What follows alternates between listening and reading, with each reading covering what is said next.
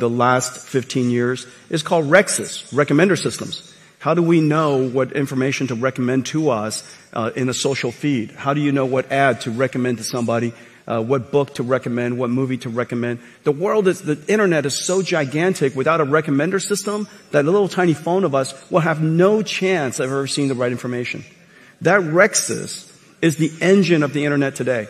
That's going generative AI it used to be running on CPUs, now it runs on GPUs. Which then says the third thing, when, if you just look at those two applications, many of the internet companies can build enormous number of GPU supercomputers just doing that.